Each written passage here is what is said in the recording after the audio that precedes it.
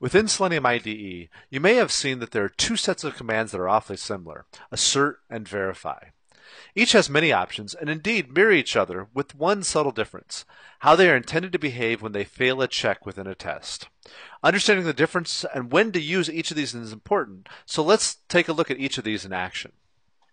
So we have an interesting site here. We have some validation that we want to test. So we're going to record a test here, and as we go in, we'll just hit the save button. And when we do that, we need to validate a bunch of text on this uh, occurs. So we need to say, hey, uh, let's make sure that this main message occurs. Let's let's assert that, and let's each of these things. So the, title of the event's required, so we better assert that that happens. So let's you know assert that, and the location is required, so we better assert that that's the case. And you know, so we can see this is really easy to build it. I can just go through assert, assert, assert, and the description again is required, and I can say assert on any one of those. So there's an easy test.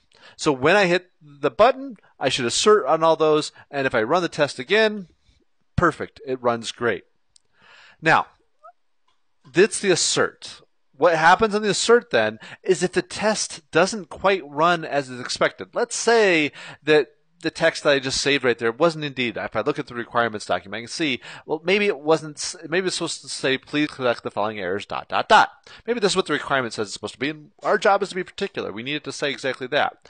So when I run, well, I didn't test the rest of this. I stopped at the first one. So let's say that many of these guys were off. So the title of, of, the event is required. Maybe it's not supposed to have a period there, and location is required. Location, maybe it should be location of the event is required.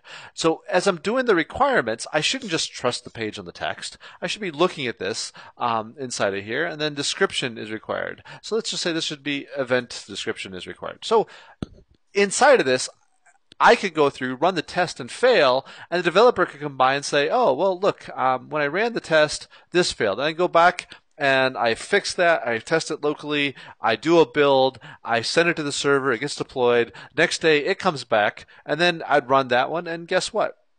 The next error would be found. Go through the cycle again. Next day, send it off, fix that, go back, come back. The next one would be found. Well, that's highly undesirable. I don't want my testing cycle to go over many days for things that are all should be checked right there.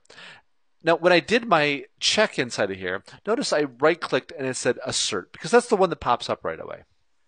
The proper choice inside of here should have been go to all the commands here and then pick the verify inside of here. So I can do that just as easily by checking it on this side. I'm going to go over here and change assert to be verify text.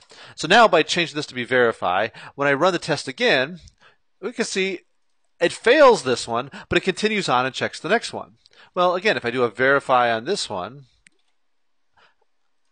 it keeps going down. Both of those have failed now. Let's just change all these to verify. Let's change these from assert to verify.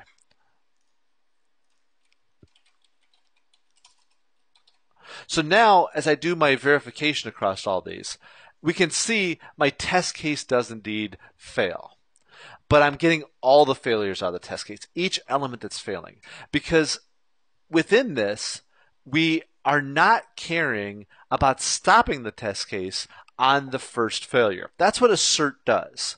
When I say assert, I'm saying that if this isn't true, there's no point in continue testing. It, it, the state doesn't make any sense, and there's nothing else to check. As opposed to verify, which is just saying, hey, our test is running along, check this thing. If it's wrong, then we'll fail the test case, but let's keep going. And that's the key behavior between the two of these. The verify is saying to me, I have many things to check. And in this case, the validation, I want to check all the validation rules. And that gives us more information out of our test. It tells us everything that's wrong within our test. And we have to be very careful in choosing which one we're going to use. If indeed the first one failing is going to cause other ones to fail, I should do an assert in the first one. But outside of that, using verify really does help us to get the most out of our test cases, give the most information back as it goes, and be able to tell all the test failures to the development team or whoever's going to fix these all at once.